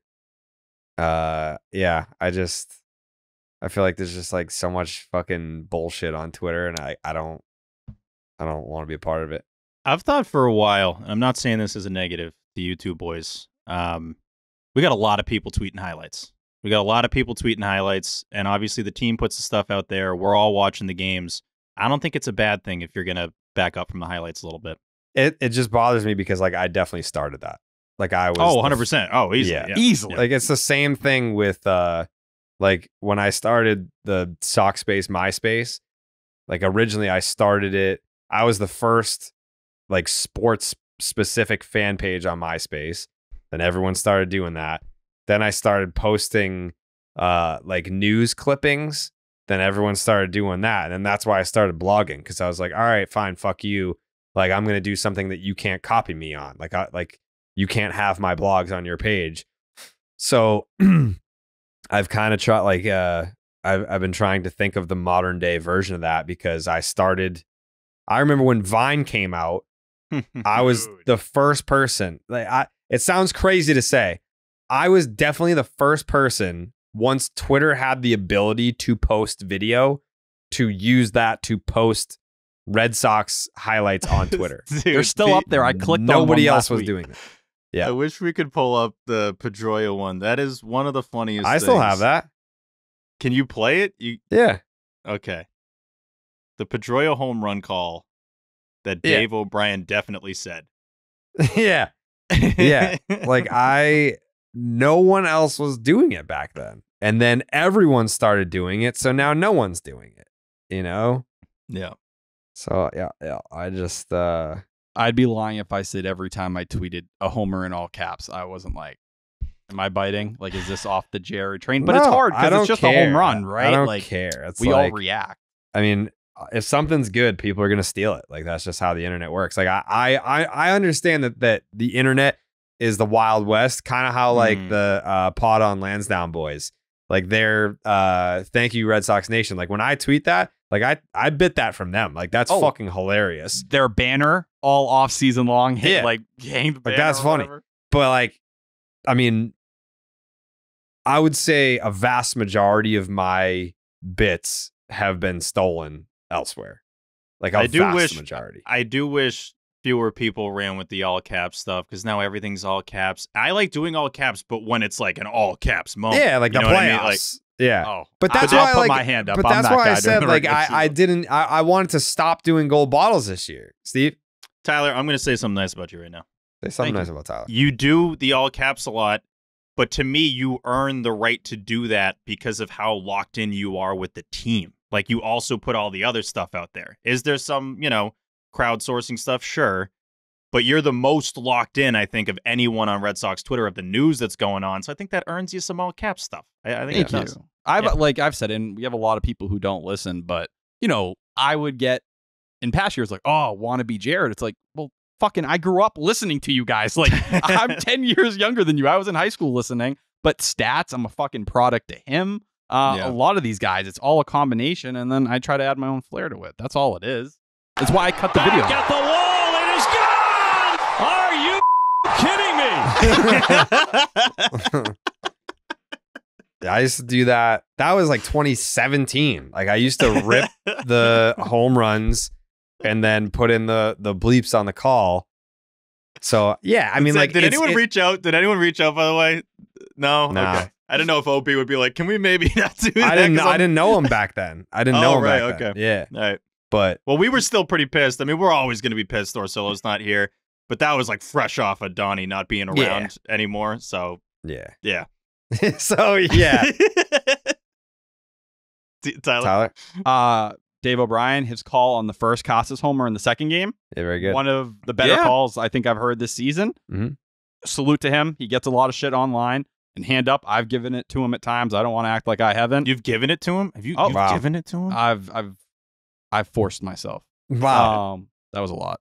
Uh, that was a little much. That was- Dave. ooh. Turn this off around the family. Um, but no, I thought it was one of his best calls, at least in this It was good. season, but recent memory. yeah, Yeah. but I don't know. Maybe I'll try to get back on Twitter more. But Yeah, dude. for right Do it. now, it's just one of those things that, like, now that everyone's doing it, I don't want to do it. Because what what when it becomes annoying is when someone will say that I'm copying someone else. When I'm like, no, no, no, no, no. The peop those people are copying me. So I mean, you're one of the OGs, obviously. Uh, EOG. Or like yeah, of fucking of baseball Twitter of just like sports Mhm. social media in general. yeah. We been had out here. No, of So- course. I was going to say we've been had out here, We so been I, had I, out think here.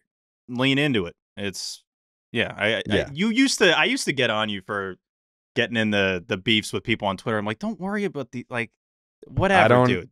I barely You don't do as much now, but like you used to do it I a lot. never just do. like, don't waste don't waste your time with it. Never. I don't really even like I hardly like look anymore. Yeah. Um but what was the other thing? Oh, the the fake out tweets.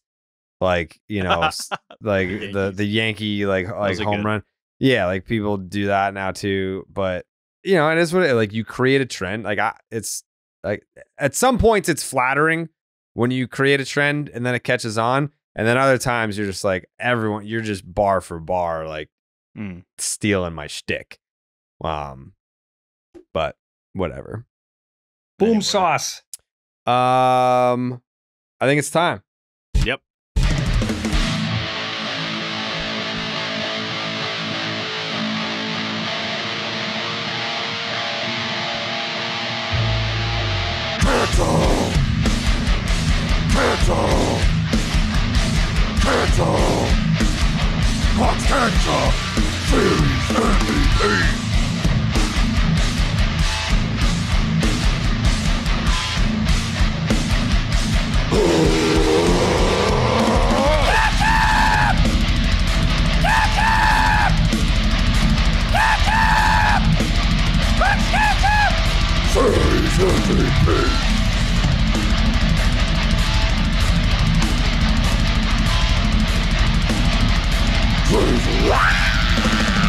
The Clark's Ketchup Series MVP brought to you by Clark's Ketchup. Drizzle that ketchup.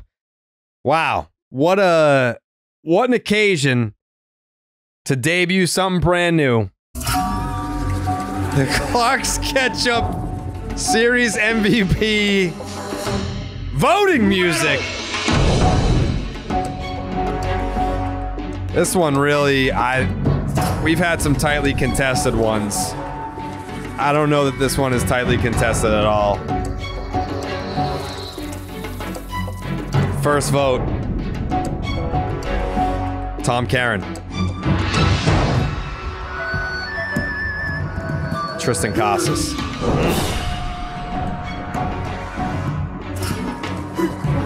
Second vote Jahmai Webster. I like Triston Casas going Drake back to back with the homers, like the Drake diss track in 2015. He powered the offense to victory in a must-win first Fenway home series win of the season. Triston Casas for Jahmai Webster. Bar. Kevin Youkilis. Casas.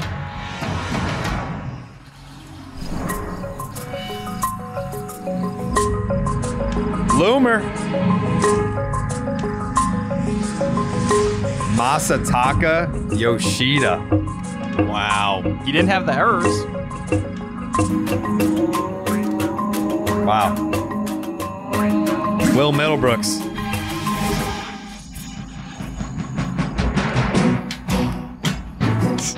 Casas.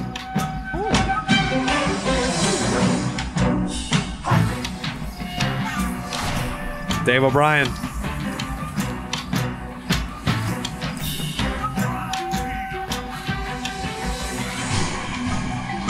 Casas. And now,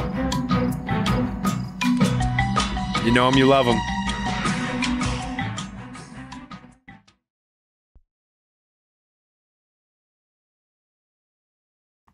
Section 10, what is up?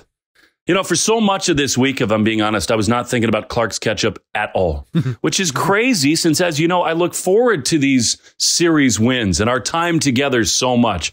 But between Pivetta going down, story surgery, Raffy unable to play, the inability to field a regular ground ball to shortstop, base running blunders, I just wasn't feeling it this week. And then after the game, I talked to a beautiful human being who talked to me about how tomorrow morning before the marathon, he's got to perfectly calibrate flaxseed and chia seed so he can take his pregame dump and feel totally light on his feet. Who talked about how he is adjusting to breaking balls and he's right in between with feel and aggression. And a guy who launched two home runs in a row, who has agreed that when he hits 30 home runs this year, he's going to paint Joe Castiglione's fingernails sparkling, bedazzled pink and it just lifted my spirits. It put wind in my sails and it reminded me, you know what? We got to celebrate the good days. And today was a good day. And the Clark's Ketchup series MVP is Triston motherfucking Casas. Yeah, it is. Yeah, it is. it good is. There you go, Will. Yeah, it is. Um. Okay. That brings it to us.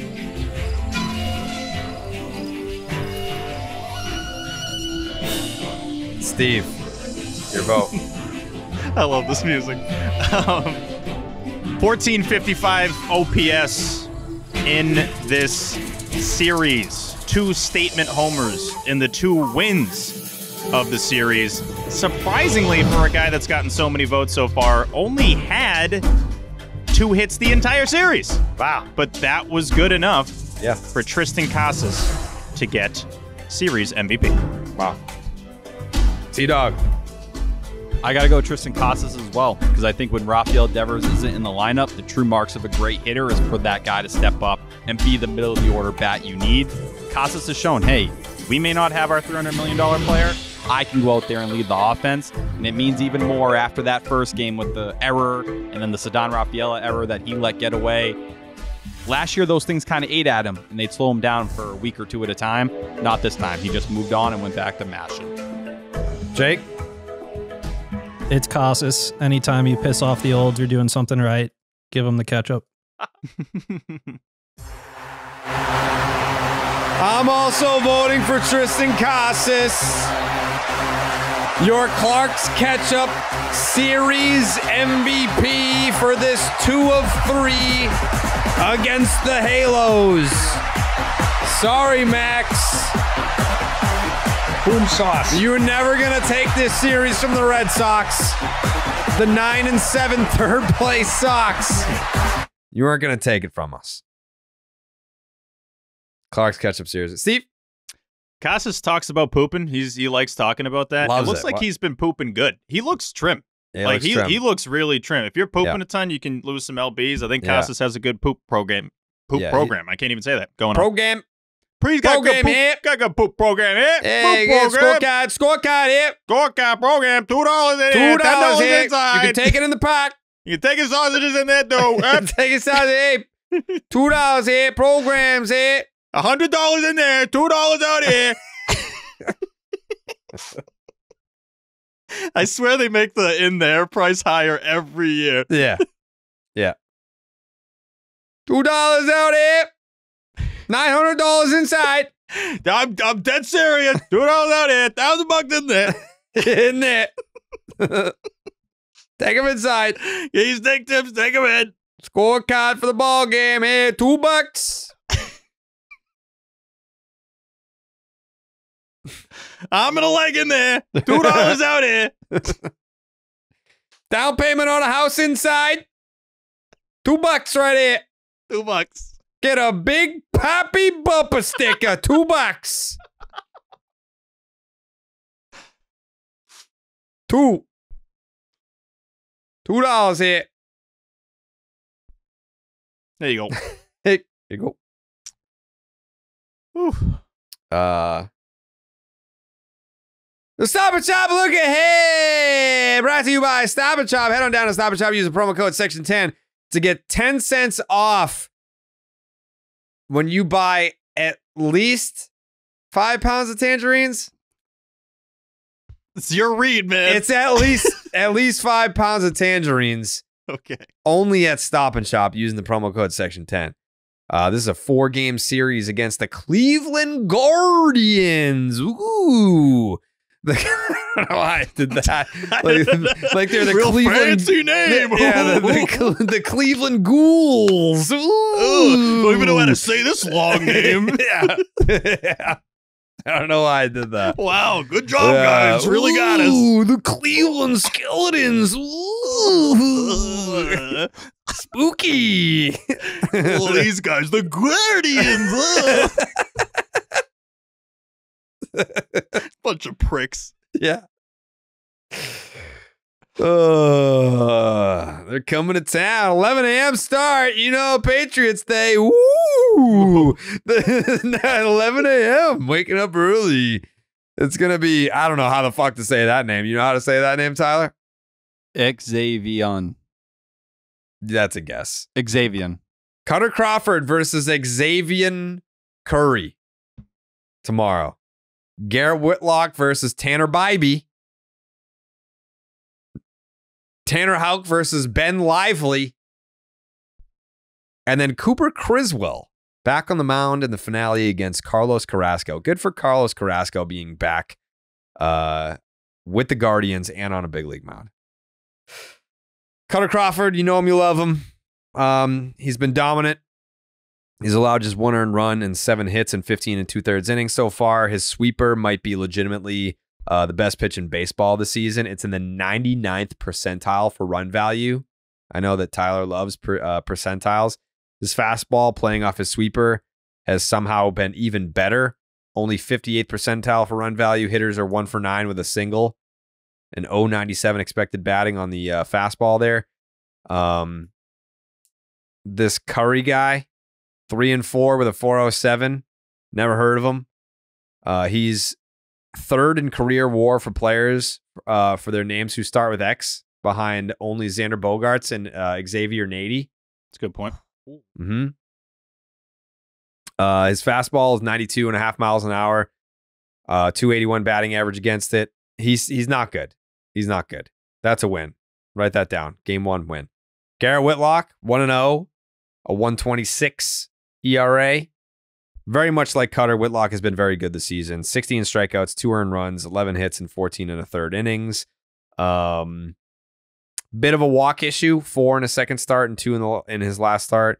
Uh, his FIP is 339, it's, which is good. Doesn't quite match the ERA, which is 126. Um, so Whitlock has very specific uses for his pitches. Uh, he has only thrown his cutter and slider to lefties and has thrown 39 40 of his sweepers exclusively to righties. Changeup just fucks up everyone. Um, Whitlock has a 437 ERA at home last year, only allowed two of his 13 home runs at Fenway. Tanner Bybee, he's got an ERA pushing six. I like Tanner Bybee, but that those those numbers aren't good. He was disgusting last year, second in the ro- rookie of the year voting. Uh, it's been a rocky start for him. Uh, got shelled in his last start to the to the White Sox, which is not good. He faced the Red Sox once last year, five innings, four hits, two runs, one earned. Um, struck out two and got the the W. His fastball is down about one and a half mile an hour. Uh, for a 25 year old, that's not good. Uh, his changeup's nasty. Hitters are one for 11 with a 40% whiff rate. Tanner Houck, his ERA only up to 204 after that shit start that he just had. Um, I'm very curious to see how he responds. Last year, he had seven starts in which he allowed four plus runs, and in his starts right after, five times he allowed three runs or less. Which is good to note. Uh, slider is in the 89th percentile for run value. He's got a hell of a slider, but we knew that. Reverse Chris Sale. Ben Lively, he's got an ERA about five and a half. So I got this one as a win as, as well, Jake. So that's what? That's two wins for me. I'm in the fence. I'm on the fence for. In the fence would be tough. I'm, I'm in the fence. You know what? Uh, I think I got the first three so far. Hmm. Um, Cooper Criswell. I mean, we just fucking saw him. We just saw him pitch today. These notes drop a hard F, so I can't repeat it. He he is a blank righty throwing, a sweeper, sinker, and a changeup and a cutter. I'm not dropping the hard F here. okay. Uh, Carlos Carrasco, 355 ERA, 166 whip. He's been solid this year, but not going very long into games. Uh, five innings, three innings, and then four and two thirds. Um, you know what, Jake? I'm sorry. But I think I I I think I I I this feels to me like a sweep, but I don't I don't know that I want to say it. You said it. I I I didn't He's feeling it out. Say feeling yeah, it like out. I'm I'm seeing what it tastes like right now. I'm I'm letting Yeah. it sit on my tongue It for a didn't. Sa- minute. it didn't sound great, but slap- how yeah, it I don't know that. It, like I licked it and I thought it was gonna taste like Mm. lemonade, and it tasted kind of like mayonnaise. So I That'd don't know. That'd be a tough switch if you got a lemonade and it tasted like mayo. Yeah, you'd be like, what the hell? Yeah, I ordered cream. lemonade, not mayonnaise. Not mayonnaise. Um, yeah, I'm gonna go three out of four to play it safe. I, it wouldn't surprise me at all if this was a four game sweep, though. Based on these, ma- I like. I hey, love the matchups for the Red Sox, and this is coming from someone. I'm not a. I'm not a big time Red Sox bobo this year. I think I took them losing three out of four to open the series. That last series against the Angels, I had them winning one out of three. Hmm. So I, I've not been, I've not been ball licking this team to No. start the year. Zero balls licked. So the fact that I sniffed that, uh, excuse me, uh, stop and shop, look ahead, and it, it it smelled like a sweep, and then I think I got closer and I examined it, and I was like, that's that's three out of 4 Mhm. I'm gonna go three out of four here. I don't know where you guys are at, Steve. What are you feeling for this series? I wrote some notes down for this one. I got a Benny's banana split. And oh, we're gonna Yeah. get a banana split. yeah, that is always good, right? It's like if you lose two out of four, hey, at least you're going to get a banana split out of Mhm. this. So, Yeah. again, I don't really want that to happen. I am going to sneak in a Papa Peralta point of the week right here. Please, you're yeah. all good with that. Uh, he was reading a Speier article and said, Stephen, uh, Alex Speier had an article that said they gave up 50 extra outs relative to an average team last season, did the Red Mm. Sox. And that was the second worst since they started tracking that stat in 2016. Outs Uh, above average. Speier, Speier, what, what's up? The outs above average. Uh, yeah, well, yeah, I, I worded that about as weird as you possibly could, but yeah, outs above average. Um, but still, fifty extra for just an average team. That's absolutely crazy, and that the Red Mhm. Sox were on pace to do that again this year. I just think defensively, we're obviously not out of the woods. I, I thought they'd be better defensively this series, which I guess they actually were. Uh, game one was terrible, but two and three weren't that bad. I just think it's it's gonna pop up again. The Raffy thing is so interesting. Like, I don't know if we're giving enough I don't think credit's the word, but we're not really mentioning enough that the Red Sox are staying afloat here without Rafael Devers. And even when he was playing, he obviously is not playing like Rafi. So that's been something to obviously keep an eye on and just factor in that it's kind of impressive they're nine and seven without Rafi, considering we expected them to suck with Rafi this year. Uh, the Mhm. Guardians are middle of the road in like every offensive category, so I don't think they're gonna uh, surprise you there with any of the offense. The Red Sox have the second most homers in the American League right now after finishing 18th in the majors in homers last year. Uh, Sox have the best team ERA. The Guardians have the fifth best team ERA. Guardians are 18th in the majors uh, in starters ERA though, so get to them early. And I think the Red Sox uh, split the series. I, I I'm more hopeful it ends up being what you said, Jared. I'm more hopeful. Obviously, it's three out of four. I think it's they're capable of winning three out of four. You want to get that first one on Marathon Monday, but Yeah, just looking at the season right now as a whole, which is a, a book that Jerry wrote back in the day, one of the best books ever written. the the Red Sox have played five series so far and lost one of them. Like I'll I'll take that. It's pretty good. I'll take that. Yeah, Pretty good. that's it. To uh, uh Benny's banana split. Two and two. Benny's banana split for Steve. T Dog? Yeah, I'm going with the split as well. I'm hopping right in with Steve. and- Benny's banana split. yes. Um, and I I'll take think two.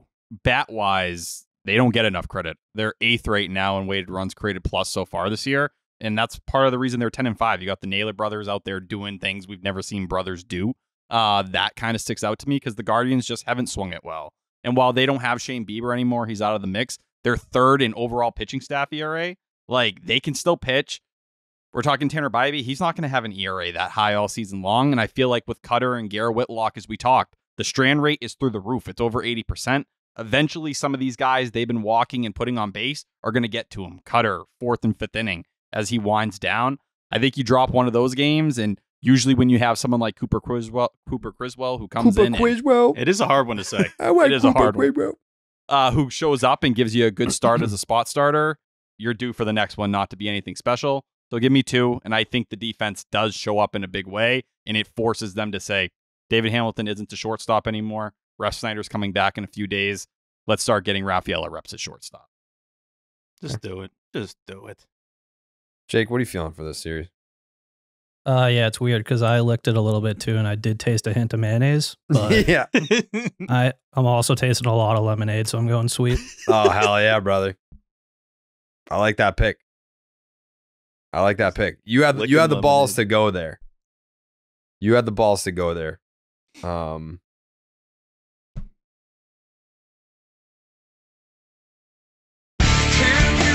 He had the balls to go there. I wish I could go there. Because if we end up going there and Jake's the only one there, I'm gonna have a lot of FOMO. A lot of FOMO. hey, if they're 13 and 7, Pretty good team. I would love to be in the Golden Streets with Jake. Yeah. So some lemonade. yeah, yeah. Uh, all right. Final thoughts, Tyler. Uh, just Nope, Just Steve. Whether, whether, whether, whether look ahead. Oh, whether yeah, look ahead. I'm, I'm not cutting you off, Tyler. It's just, yeah, just yeah, weather, yeah. you know? Yeah, Just yeah, not yeah. just mad yeah, anymore. this is big. This is big right now. Steve, please. The weather look ahead is brought to you by Billy's Gummy Bears. Yeah, that- yep. You chew them with your mouth. Chew them with your mouth. Marathon Monday, game one. That's also one Boston day. That's also Jackie Robinson day. 11:10 a.m. first pitch, 62 degrees with a zero percent chance of rain. It is going to be 62 at 11 a.m. Yeah, dude, it's going to be beautiful. It's going to be Beautiful. at Fenway Beautiful. for Marathon Monday. They were talking about on the broadcast today if that's too warm for the runners. I think it is a little on the warm side for the runners. They probably would Mm. prefer last year, which was kind of a mess, but at least a light drizzle. You're not getting a light drizzle uh, on Monday, on Marathon Monday, on one Boston Day, on Jackie Robinson Day. Mostly sunny during the game with winds obviously from the west at 10 miles an hour. Tuesday, 7:10 p.m. first pitch, 58 degrees, 3% chance of rain. It is not going to rain. It could get into the 40s by the end of the game, so dress warm for that one. Mm. Game 3 Wednesday, also a 7:10 p.m. first pitch, 53 degrees, 10% chance of rain, going up to a 15% chance of rain as the game continues. Maybe a drizzle. You're probably going to dodge it. Winds as Jerry as you could imagine, winds from the east at 5 to 10 miles an hour. Thursday, series finale is also Wally and Tessie reversible headband giveaway day. Oh, Yeah. Not not too yeah. shabby. Yeah. Huh. yeah, dude. Like, can you believe that? Damn. Uh, first pitch is at 1:35 p.m. Eastern Standard Time. It's going to be 53 degrees. Highest uh, chance of rain for this one. It's 20% chance of rain, partly cloudy with winds from the east at 10 to 15 miles an hour. And that will do it for the weather look ahead. Brought to you by Billy's Gummy Bears. Chew them with your mouth. wow. Thank you, Steve. Proud of you, Steve. Thanks, How do you- man. how do you feel? That one, Feel that good? felt good. That felt really good. Yeah, actually, I actually Smooth. thought that went well. Yeah. Uh, Tyler. Uh, I got two things: injury updates for what's going on with the roster right now. Okay. Did say he expects Devers to be back tomorrow. We've heard that the last couple days, but this feels like a pivotal point at the start of a series. Uh, Pivetta played catch Saturday, felt good. Uh, he's going to play catch again tomorrow. Romy Gonzalez expected back sooner rather than later after landing on the IL, and Enmanuel Valdez should be fine. Vaughn Grissom continues to rehab. Went 0 for 4 today with three Ks. Rob Refsnyder as well, but looks like Grissom's going to be down there at least another week and a half. Refsnyder should be getting close. And then checking down on the minors, Marcelo Meyer, Roman Anthony, and Kyle Teel have all gone deep in the last three days. Roman Anthony homered twice in a doubleheader, first game and second game. And Meyer right now has a seven game hitting streak, hit in every single game he's played this year. If you want to know more about which Red Sox minor leaguers are performing well, new article on 985thesportshub.com, where I have a few other names mentioned. Steve. I just want to say a happy 27th birthday to Wally the Green Monster. Yeah. Mhm. Uh, really, just the the best mascot in the game. Consistent. Saw that video. I had tweeted. I'm saying saw the video. Tweeted. I found the video. I was like, oh right, all right. This video exists of him coming out of the monster. I was at that game, but don't really remember it too vividly. Anyone that says that Wally got booed, I think it was more confusion amongst the fans because Mm. that whole video, if you watch it, is just like, what exactly is going on here? While he's kind of creeping around with the glove, and it's like, what? You supposed to be sneaking up on people? I don't exactly get what's happening. Um, but yeah, 27th birthday. I was surprised to see that he wasn't really celebrating the birthday. We'll have to look into that. Maybe ask him uh, once we go to some of these games here further into the season. Red Sox are 18 and 8 all time now on Wally's birthday. They won Wow. on his first seven birthdays. So they had a seven game winning streak going that actually ended in 2004. I know you're asking what the 162 pace would be for that. It's 112 and 50 on Wally's birthday. So they care about him a lot and they want to get those wins. Thank you, Wally, for all your Hashtag. contributions to uh, Thank you, Wally. the Red Sox. Yeah. Yeah. Jake's takes? I do think it's pretty funny that the uh, medal we're using for home run celebrations is Alex Cora running a 5K. Like, Yeah. like three miles is kind of just like a light jog. there's like yeah. thir- 30,000 people running the Boston Marathon, but we're going with the 5K medal. hmm Did they replace it with his wives? Because he's heading over there after the marathon tomorrow because she's running. Oh. Oh. Not going to lie, I didn't know a 5K was three miles. That's really not that It's like Yeah, three I- and change. Thought it was five. A Yeah, what's a 5K? K? What's a K? Uh, it's a letter. Anyways, um, we what? How long is No, a five k? It's not. How long is a five k? Uh, 3.1. Yeah. yeah. See, there's the and change. 5.1. Three point one. I don't know. Is it going to be like a 4.8K or something? I don't know. I don't know. Anyways, um, all right, we'll be back on Friday, right? It's a four game series that Yeah, ends on jeez. Thursday. Yeah. Yeah. All right. We'll be back on Friday. Don't miss us too much. That's a whole week without the 10. Um, all right. We love you. Coley will be back on Friday. We'll talk to you then. Bye. Buenas noches, amigos.